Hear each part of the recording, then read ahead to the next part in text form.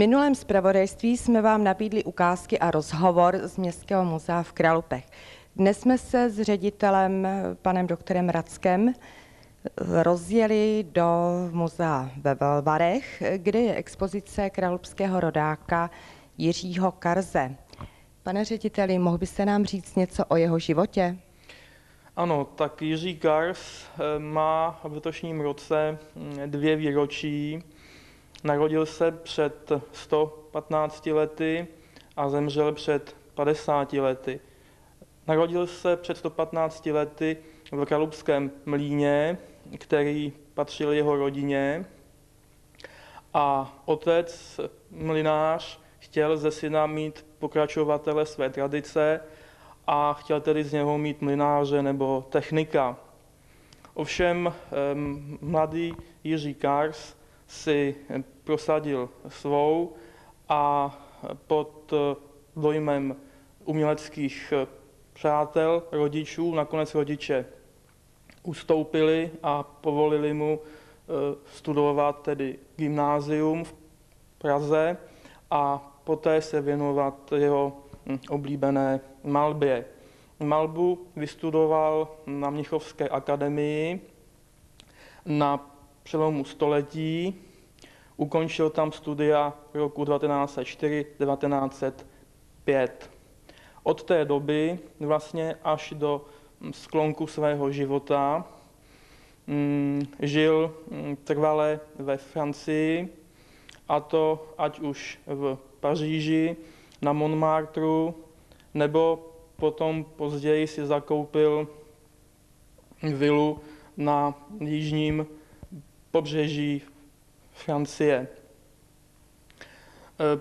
protože mm, Jiří Kars e, se jmenoval vlastním jménem Karpeles, což tedy svědčí o jeho původu, musel e, za světové války druhé opustit Francii a uchýlil se do Švýcarska, kde také pár měsíců před koncem války zemřel.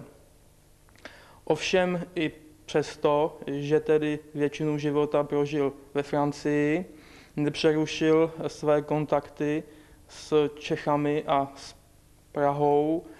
Měl v Praze na několika místech hm, ateliér a uspořádal zde e, i několik výstav. Poslední v polovině 30. let v Mánesu.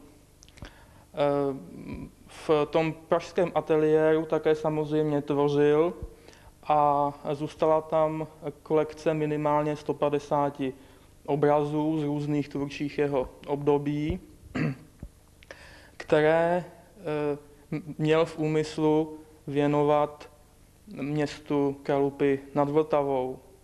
Bohužel tedy odkaz už nestačil realizovat eh, osobně, takže tedy ho eh, provedla vlastně po jeho smrti jeho manželka, která tedy eh, věnovala městu Kralupy nad Vltavou, ovšem už jenom torzo, 50 obrazů, které zůstaly po rozchvácení za okupace z té sbírky shromážděné v jeho, v jeho pražském ateliéru. Pane řediteli, a ještě kdybyste nám mohl něco povědět o jeho tvorbě. Tvorba malíře Jiřího Karse, nebo tedy ve Francii známějšího pod eh, po francouzštěným jménem Georges Cars, je velmi zajímavá. Díky tomu, že se ocitl v Paříži na počátku našeho století roku 1905, podařilo se mu zachytit eh, velký eh, umělecký nástup na počátku tohoto století. Usadil se samozřejmě v umělecké čtvrti na Montmartru, kde se stal členem velké skupiny umělců původem z různých zemí, kteří se právě v této době do Paříže dostali, usadili se tam a pod dojmem pařížských nových směrů tam tvořili. Například jako první se tam usadil na počátku století Pablo Picasso, Potom to byli právě už zmiňovaný náš rodák Jiří Kars společně s dalším českým malířem Otakarem Kubínem.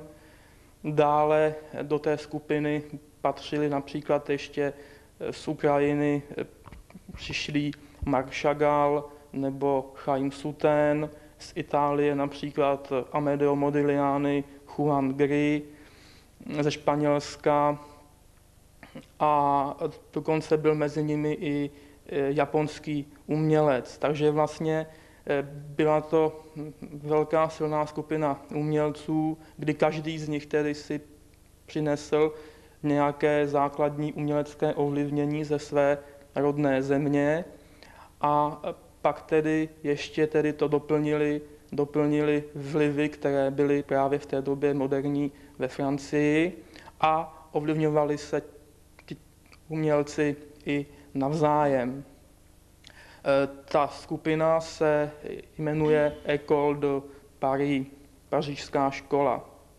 Žili na Montmartre v objektech například Bateau Lavoir nebo Oul a skutečně žili tam pohromadě, každý tam měl jednu, dvě místnosti, takže ty kontakty byly mezi nimi velmi, velmi úzké.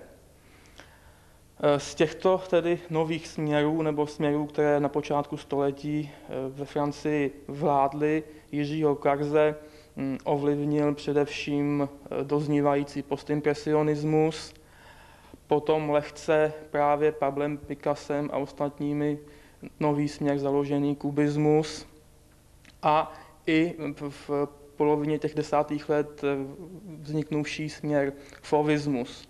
Ovšem ani k jednomu z těchto stylů se Kars bez výjimky nepřiklonil, z každého se poučil a vlastně zkušenosti z nich přetavil v takový jakýsi svůj specifický svébytný umělecký styl. Ovšem i tak lze v jeho tvorbě a i v obrazech zde vystavených najít několik období, která jsou typická hm, určitými zvláštnostmi. V prvním období jeho, jeho tvorby do roku 1908 jde o ovlivnění právě tím německým eh, postimpresionismem, kde studoval v tom Mnichově.